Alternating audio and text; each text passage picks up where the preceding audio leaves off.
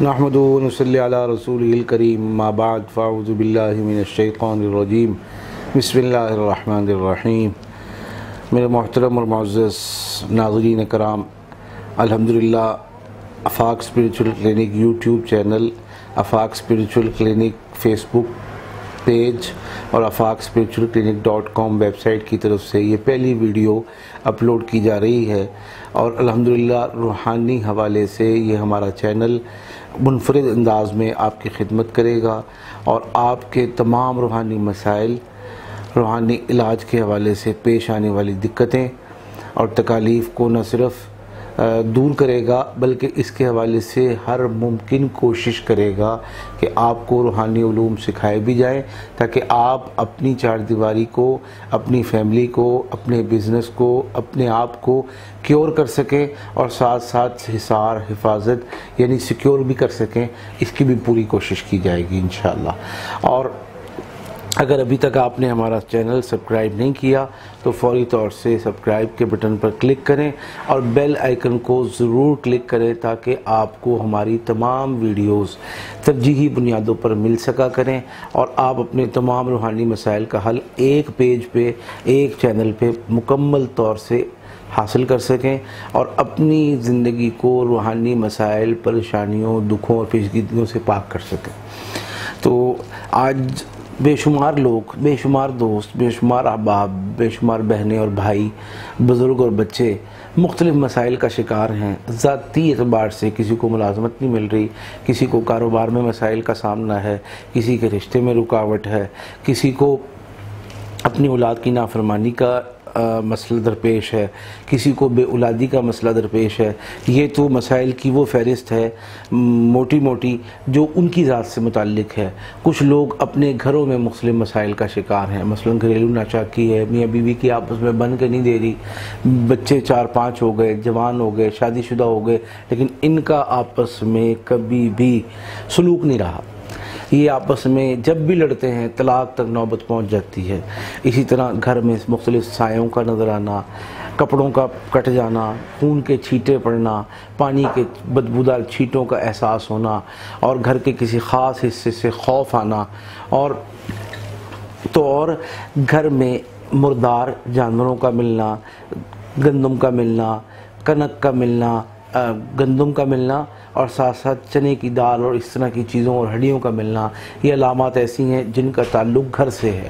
اب گھر سے تعلق ہو یا آپ کی ذات سے کوئی تعلق ہو مسائل کا، تو اس کا حل کیا ہے؟ اس اس کی وجوہات سب سے پہلے ہم یہ سمجھ لیں کہ وجوہات کیا ہے آج ہم وجوہات پہ بات کریں گے کیونکہ ہمارا یہ بنیادی لیکچر ہے کہ جتنے بھی آپ کو مسائل درپیش ہیں، ان کی بنیادی وجوہات کیا ہیں؟ تو آج میں آپ کو عرض کر دوں کہ اس کی وجوہات پانچ ہیں۔ سب سے پہلے پہلی وجہ۔ اللہ کی پکڑ ہے کہ اگر مختلف مسائل کا سامنا ہے تو نماز بھی پڑھتے ہیں، روزہ بھی رکھتے ہیں، نیک اعمال بھی اختیار کرتے ہیں، صدقہ خیرات بھی کرتے ہیں، لیکن اس کے باوجود تکبر کے مرض میں مبتلا ہیں۔ کسی کی حق تلفی کی ہے، کسی کی زمین دبائی ہے، کسی کی امانت میں خیانت کی ہے، کسی کے ساتھ بد اخلاقی سے پیش آئے ہیں۔ یہ بہت ساری چیزیں ایسی ہیں جس کی وجہ سے مظلوم کی بدعا کا شکار ہوئے اور مظلوم کی بدعا کا شکار ہوتے ساتھ ہی مسائل شروع ہو گئے۔ اب جب تک اللہ سے توبہ نہ کر لی جائے، پچھلی پر ندامت شرمندگی کے آنسو نہ بہا لیے جائیں اور آئندہ کے لیے اس مسئلے پر قابو پانے اور اس مسئلے سے اعتراض اور پرہیز کرنے کا عزم نہ کر لیا جائے، توبہ اللہ کے ہاں قبول نہیں ہوتی۔ اور توبہ کی تکمیل کیا ہے کہ جس کا جو حق دینا ہے، جس کا جو حق بنتا ہے، اس کو دیا جائے اور اس سے معافی مانگی جائے کہ جو دیر ہو گئی، جو سویر ہو گئی، اس پہ ہم آپ سے معافی کے طلبگار ہیں۔ اور اگر ابھی وہ حق موجود نہیں ہے، جیسے پیسے ہیں، زمین ہے، کوئی مالی حقوق ہیں، تو ان کے لیے اگر ابھی موجود نہیں ہے، تو یا تو معاف کرا لیا جائے یا مہلت طلب کر لی جائے۔ اللہ کی ذات سے بڑی امید ہے کہ اللہ کا یہ عذاب اللہ کی یہ پکڑ دور ہو جائے گی اور ہمارے مسائل حل ہو جائیں گے۔ دوسری چیز جو اہم ہے کہ یہ سب باتیں کیوں ہوتی ہیں، وہ یہ ہے کہ جادو جادو برحق ہے۔ نبی پاک صلی اللہ علیہ وسلم پر ہوا ہے اور ایسا زبردست ہوا ہے کہ آپ صلی اللہ علیہ وسلم کو تو فرشتوں کے ذریعے سے جس کنگی پر کیا گیا، آپ صلی اللہ علیہ وسلم کے جن بالوں پر کیا گیا، جن بالوں میں گریں لگائی گئیں اور جس کنویں میں دبایا گیا، دفنایا گیا، وہ سب فرشتوں کے ذریعے سے دکھا دیا گیا۔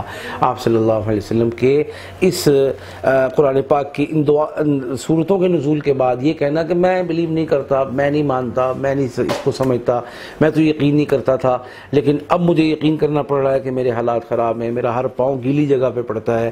میں سونے کو ہاتھ ڈالوں، مٹی ہو جاتا ہے۔ لوگ مٹی کو ہاتھ ڈالتے ہیں، سونا ہو جاتا ہے۔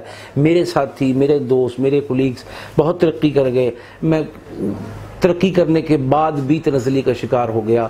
تو یہ کہنا سراسر نبی پاک صلی اللہ علیہ وسلم کے طرز زندگی کے خلاف ہے۔ جب آپ پر جادو ہوا اور امت کی تعلیم کے لیے ہوا کہ تم پر ہوگا، تو اس کی حفاظت کا، اس کے حصار کا، اس کے علاج کا تم نے کیا بندوبست کیا ہے؟ تو جادو برحق ہے، جادو بھی اس کی وجوہات ہیں۔ تیسری چیز ہے جنات۔ جنات جادو جن ہوتے ہیں جنات کے ذریعے سے ہوتا ہے، لیکن وہ مسلط کردہ ہوتے ہیں کہ فلاں شخص اس کا کاروبار تباہ کرو، اس پر مقرر کیے گئے ہو، فلاں شخص اس کی نوکری تباہ کرو، اس کے لیے مقرر کیے گئے ہیں، فلاں شخص ان کے میاں بیوی میں ناچاکی پیدا کرو، اس کے لیے جنات مقرر کیے گئے ہیں۔ فلاں شخص اس کے اولاد نہ ہو، اولاد میں رکاوٹ ہو اور مختلف بیماریاں پیدا کر دو تاکہ وہ بیماریاں اولاد کی پیش پیدائش میں رکاوٹ بن جائیں۔ تو اس حوالے سے یہ بھی جنات کی وجوہات ہیں۔ یہ یہ جادو تھا جہاں مسلط کیا جائے اور اگر کئی جنات رہائشی ہوں تو ان کا تعلق ان کو جنات کہتے ہیں۔ اگر وہ تنگ کرتے ہیں رہائش میں، وہ تنگ کرتے ہیں راستے میں، وہ تنگ کرتے ہیں کسی خاص مقام میں، تو اس کی کئی وجوہات ہوتی ہیں۔ یا تو ان کو رہائش میں تنگی پیش آ رہی ہوتی ہے، ان کے آرام میں خلل آتا ہے، یا ہم نے کوئی ایسا کام کو غلط حرکت کر دی ہوتی ہے کہ جس کی وجہ سے ان کو تکلیف پہنچتی ہے اور وہ اس تکلیف کے وجہ سے آپ کے اور میرے دشمن ہو جاتے ہیں۔ اور چوتھی چیز جو اہم ہے وہ ہے نظر بد۔ نظر بد نبی پاک صلی اللہ علیہ وسلم کی حدیث کے مطابق برحق ہے، العین حق یعنی نظر کا لگ جانا حق ہے۔ نظر کس کو لگے گا؟ لگے گی چھوٹا بچہ ہے، خوبصورت، اس کو دیکھا، ماشاءاللہ نہیں کہا۔ بہت اچھا بہت ہیلدی بہت خوبصورت نظر لگ سکتی ہے۔ ایک اچھا لکھاری ہے، کالم نگار ہے اور اسی طرح کتابیں لکھتا ہے رائٹر ہے۔ وہ یار، اتنی اچھی کتاب، اتنا اچھا مضمون، اتنا اچھا کالم، اب یہ آئندہ ایسا نہیں لکھ پائے گا۔ ایک شخص بہت اچھی تقریر اور خطبہ دے لیتے ہیں مولانا صاحب، بہت اچھی سیاسی تقریر کر لیتے ہیں، لیکن کوئی اتنی اچھی تقریر اس کے بعد سے آئندہ وہ بیچارہ نہیں کر پائے گا۔ کوئی شخص علم میں، تعلیم میں بہت اچھا ہے، کوئی تیرے بچے کے اتنے نمبر، تیرے بیٹے کے اتنے نمبر، واہ، میرا بچہ تو بہت نکھٹ ہوا ہے نکارا ہے۔ اس شخص کو نظر لگ جائے گی آئندہ یہ عمومی طور سے اپنے ہر درجے میں، ہر امتحان میں ناکامی کا سامنا نہیں کرے گا تو کم از کم مشکل سے کامیاب ہوگا۔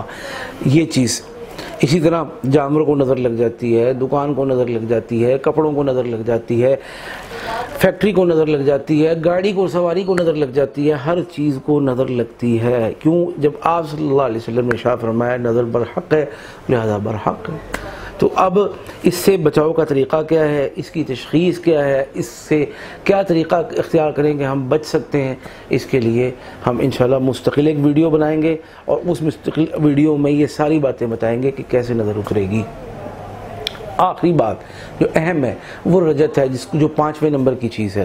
وہ رجت کیا ہے کہ ہم نے درود شریف کا سوا لاکھ پڑھا اور ایک نہیں، کئی سوا لاکھ پڑھ لیے۔ ہم نے آیت کریمہ کا سوا لاکھ پڑھا، ایک نہیں، کئی سوا لاکھ پڑھ لیے۔ ہم نے سورہ مزمل ہزاروں کی تعداد میں پڑھی اور اس کے پیچھے کوئی مرشد، کوئی استاد، کوئی رہنما، کوئی بیگ دینے والا، کوئی اسپریچل سپورٹ کرنے والا نہیں تھا۔ جس کا نتیجہ کیا نکلا کہ اب کچھ نہ کچھ موکلات سے ہمارا رابطہ ہو گیا، لیکن ہمارا ماحول متعفن ہے ہمارے ہمارا اندر متعفن ہے ہم گناہ گار ہیں، ہم نماز نہیں پڑھتے، ہم خیانت کرتے ہیں، ہم جھوٹ بولتے ہیں، ہم کم تولتے ہیں، کم ناپتے ہیں، اور ہمارے ارد گرد کا ماحول فحاشی والا، گانوں والا ہے۔ اب جب وہ نیک موکلات آتے ہیں، تو ہم نے اپنی جن مشکلات، پریشانیوں کی وجہ سے یہ چلے کیے تھے اور بغیر رہنمائی کے کیے تھے، اب وہ چیز آ کے ہمیں مزید دکھ، مزید تکلیف دیتی ہے کہ تم نے ہمیں ایسی جگہ پہ بلایا کہ جو ہماری پسندیدہ نہیں تھی۔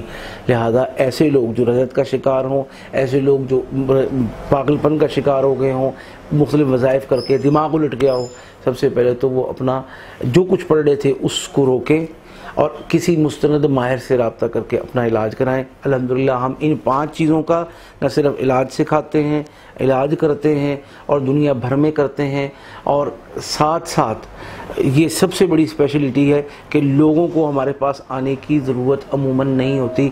ہم وہیں علاج بھیجتے ہیں۔ یا کہیں جا کے کرنے کی ہو ضرورت تو وہاں پہنچتے ہیں۔ اور ساتھ کے ساتھ انٹرنیٹ سے فیس بک سے میگزین سے اور دیگر کتب سے آزاد کر کے آپ کو ایسا عمل دیتے ہیں کہ آپ پڑھتے ہیں تو آپ ہمارے نیٹ ورک سے اٹیچ ہوتے ہیں، موکلات ہماری نگرانی میں آپ کو ریسکیو کرتے ہیں، آپ کو اللہ تعالیٰ شفا دیتے ہیں، آپ مرم پٹی کے بعد خود مضبوط ہو جاتے ہیں، صحیح ہو جاتے ہیں، اب آپ کو ہتھیار کی ٹریننگ کرا کے اس قابل کر دیتے ہیں کہ آئندہ آپ کا دشمن آپ کے خلاف قدم نہ اٹھائے۔ اگر اٹھائے بھی تو آپ کو نقصان نہ پہنچا سکے۔